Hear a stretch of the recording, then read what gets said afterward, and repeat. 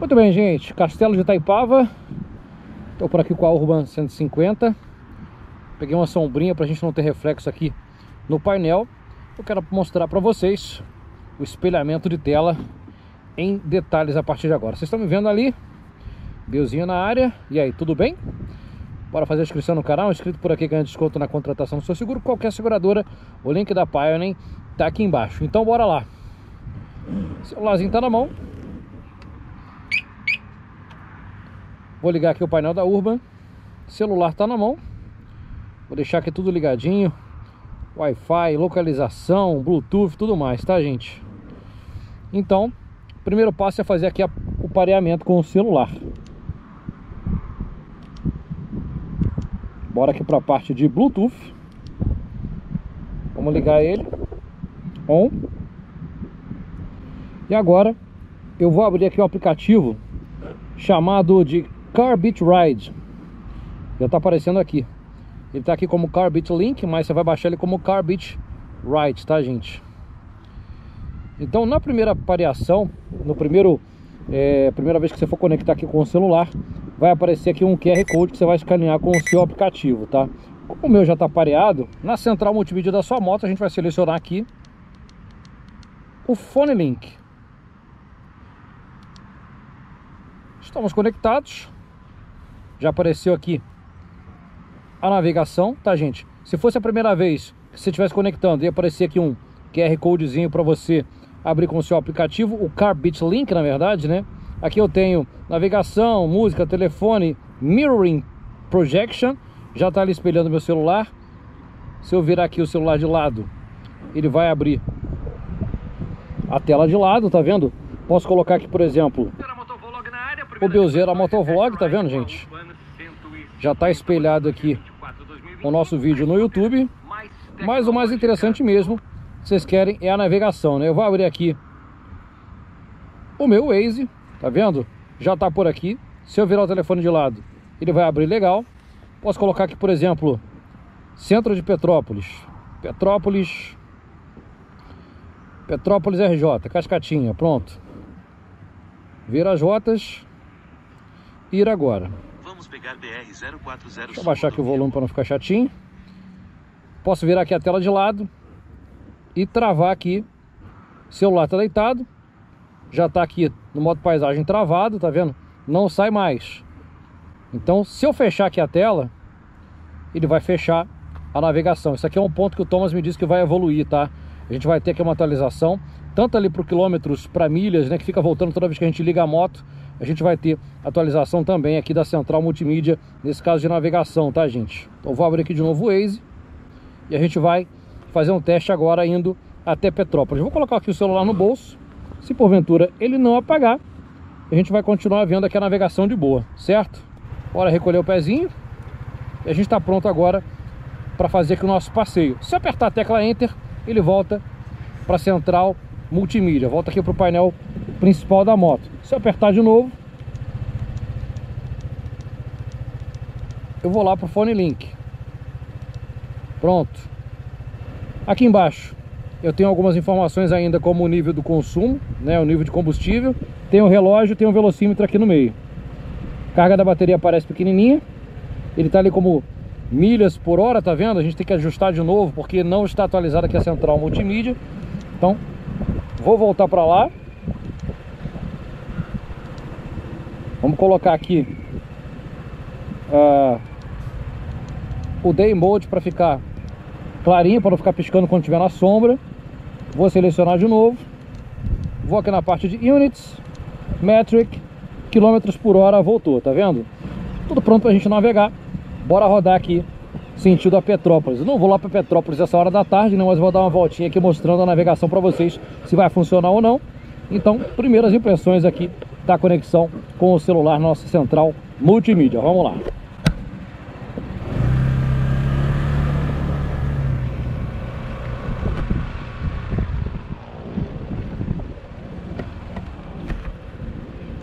Legal que vocês viram aqui embaixo. Velocímetro continua.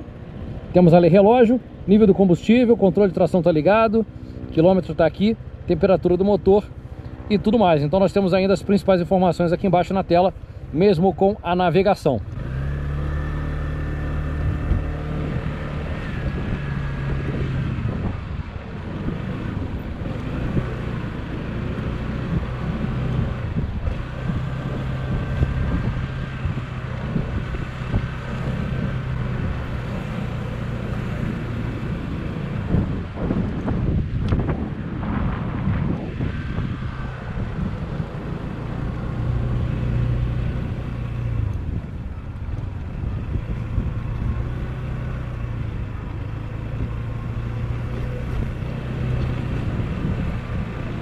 Quebra-mola que ele é bem alto.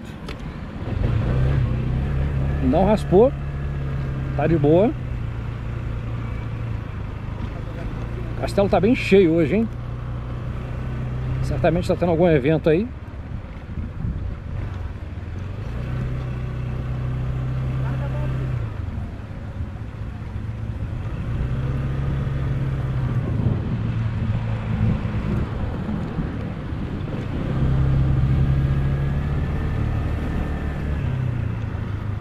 Então, gente, após a atualização lá com o pessoal da Chinerai, a gente vai ter aí quilômetros por hora, vai ficar aí registrado direto, não vai ter que ficar configurando toda hora. E a tela também, ela não vai ficar apagando quando você fechar a tela do celular, tá? Isso aí é uma atualização simples de fazer, de acordo lá com o Thomas Medeiros. Então tá navegando direitinho. A gente vai ter que pegar ali a BR e contornar lá em Pedro do Rio para voltar para Petrópolis. Então funciona muito bem, tá? O ponto negativo é ter que manter o celular com a tela acesa, né? Vai acabar gastando mais a bateria. Item que a gente vai poder resolver após a atualização. Bora rodar.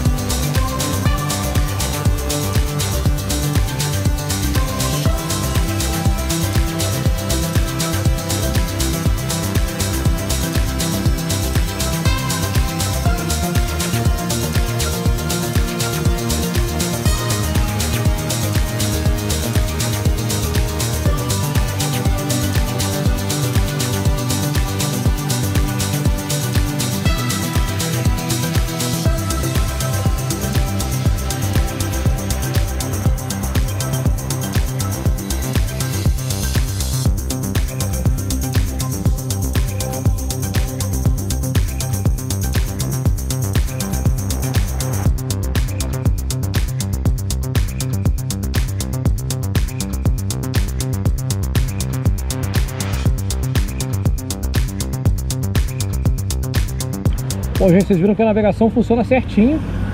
Como eu estou usando o celular para fazer a captação aqui, é, espelhamento, não estou usando o microfone de lapela nesse momento, o áudio deve ter ficado uma porcaria.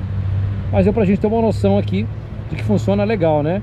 Funciona bem legal a navegação. Como eu tenho o Android Auto no meu celular, na, na central multimídia do meu carro, eu posso fechar a tela e ele funciona de boa. O único ponto negativo aqui é você fechar a tela e perder a navegação. Mas como eu te falei no início do vídeo, o Thomas está trabalhando com o pessoal da Yang para a gente poder resolver essas pequenas coisinhas, tá? Tanto atualização ali para milhas, né? Para quilômetros, quanto esse lance de fechar a tela do celular e a gente ter aí a navegação interrompida, né? É um item que precisa ser melhorado, mas vocês viram que funciona de boa. Não vou para Petrópolis, né? Não vou para Petrópolis agora porque é longe para Chuchu, mas teria que voltar para BR e contornar, então a navegação tá perfeita em tempo real, sem travar, sem nada. Logicamente depende também da memória do celular que você está usando, né? Então o celular está rodando lisinho aqui no sisteminha da Urban 150. Espero que vocês tenham gostado aqui do vídeo e a gente vai se falando em uma próxima oportunidade, tá gente? Então, navegação aí funciona, central multimídia tá de boa, alguns detalhes a serem melhorados, né? alguns detalhes aqui para evoluir, mas no mais, tá bacana, viu? Bacana mesmo aí a central multimídia da Urban 150. Atualizando vai ser show de bola, vai ter atualização recente, é, vai ter atualização daqui a alguns dias, então o Thomas vai mandar pra gente. A atualização pode ser feita em casa, vai poder atualizar aí a sua Urban via aplicativo, via pendrive, não sei como é que vai ser ainda, mas em breve a gente conta aí mais detalhes sobre esse assunto para você, tá certo? Vou me despedindo por aqui de mais um vídeo com a Urban 150, mostrando agora a central multimídia, como é que você conecta com o seu celular. Se ficou alguma dúvida, você comenta aqui embaixo e a gente vai tirando aí todas as suas dúvidas sem problema nenhum. Fechado, gente? Por aqui seguimos, eu não vou parar até te mostrar todas as motos do mundo. Galera, beijo grande, beijo do Bill.